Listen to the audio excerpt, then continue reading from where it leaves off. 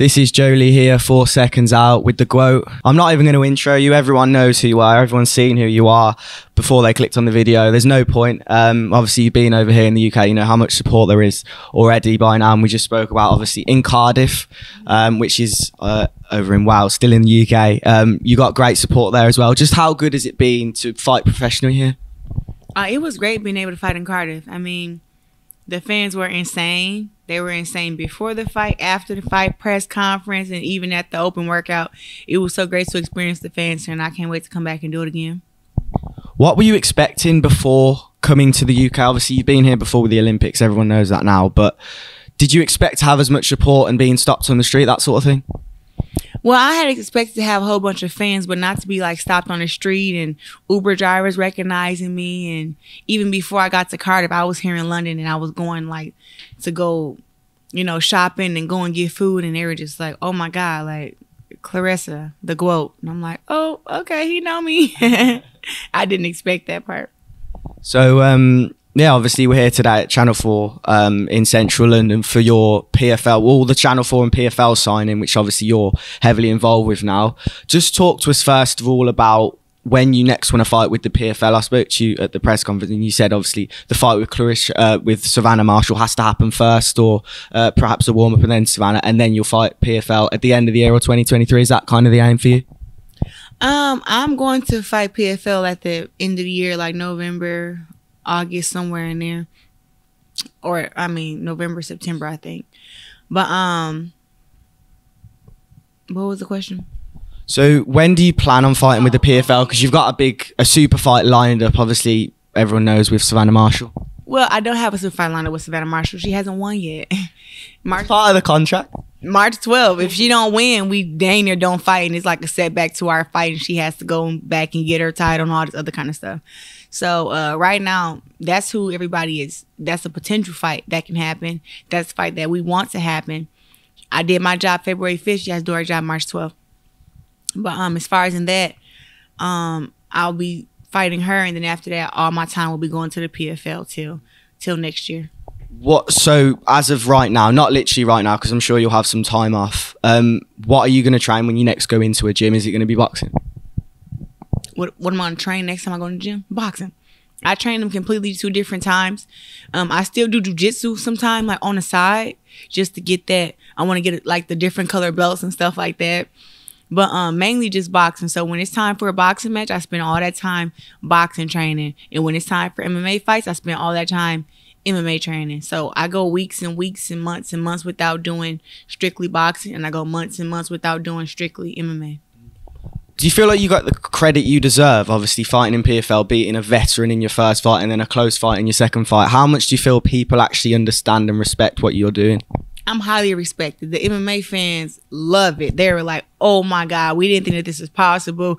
Boxers always talking to talk and never walking the walk to, to, to MMA fighters, and then here I am in the prime of my career with all the titles and regarded as the greatest one of all time in boxing and I went over there to the PFL and I'm fighting the MMA rules under their rules, like no stipulation, like oh it's not not in my contract, like oh they can't go for arm bars, they can't, you know, kick me, they can't go for takedowns. It's like look, this is pure MMA rules, and this is the rules of the PFL and as the MMA fighter. So I go in there and I'm, and I'm able to compete, and they really respected like how my first fight I went from being on my back for ten minutes and, and unable to get up to my second fight to being taken down, to being able to get up, to being able to fight out those clinches, to land the punches and land the kicks. I think the fans have really enjoyed um, seeing me grow in MMA, even though it's been like a quick journey. Yeah, definitely. Um,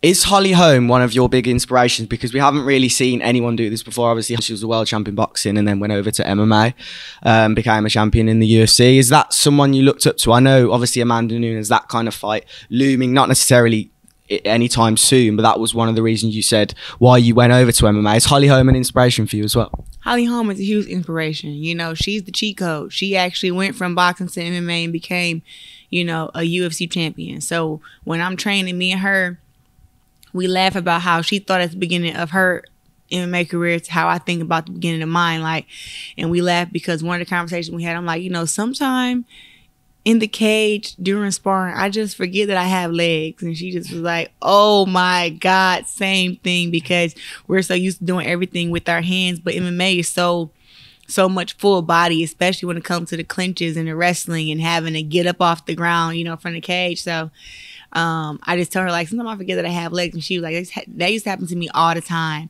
And so she gives me advice on how I can, um, remember that I have legs and just remember to like use your whole body and you know use use everything you have and everything like that. So it's been great to work with her. Do you kind of expect to reach similar heights, obviously in in five years time or something like that, as as Holly had?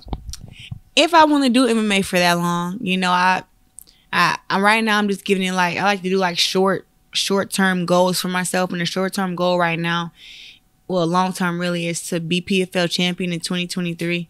I don't know if I'll go for it. Um, I, I already don't know after that. It's like, will I put in five? If I, if I was to train five years in MMA, I would, I could 100% be uh, MMA world champion.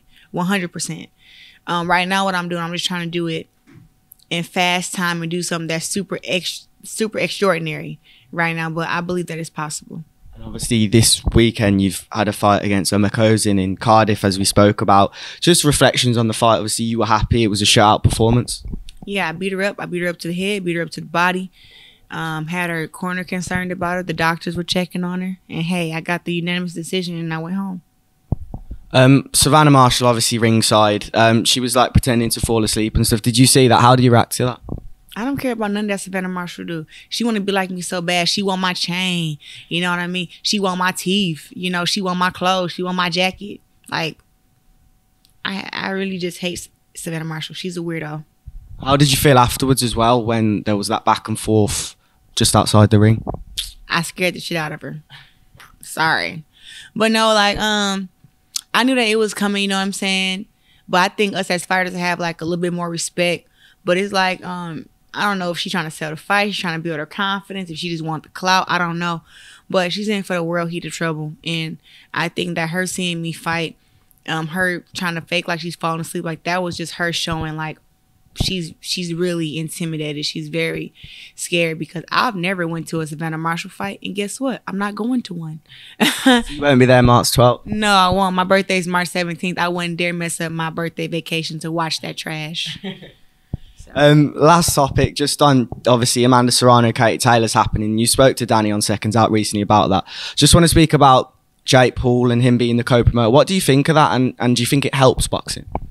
It's helping their situation. It's helping them, and, and, and you know, they are trailblazers like myself women's boxing. So the higher that they're held, the higher I'll be held. So, you know, congrats to them. Congrats to uh, to Amanda with signing with Jake and you know taking that route it's hey, it's all it's all good. It's all good. And obviously Eddie Hearn's promoting that as well. What's your relationship like with him at the moment? Is it? I know there was obviously back and forth last year, and you don't necessarily get on. Are you still not the best of friends? Who? Eddie Hearn. I didn't ever know me and Eddie Hearn wasn't friends. We, he still inboxed me on Twitter and stuff. I ain't know. I ain't know. I was just referring to like the Twitter spat last year. Oh, I mean, so he started riding the Savannah Marshall train, but face to face with me, he wasn't riding her train.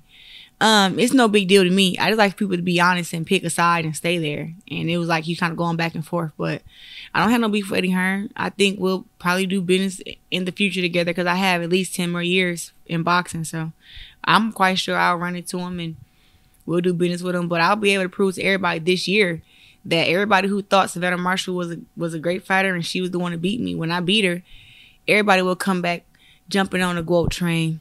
And I guess I'll make room for them. well, appreciate your time. Best of luck with the PFL and boxing this year. And uh, yeah, thank you very much.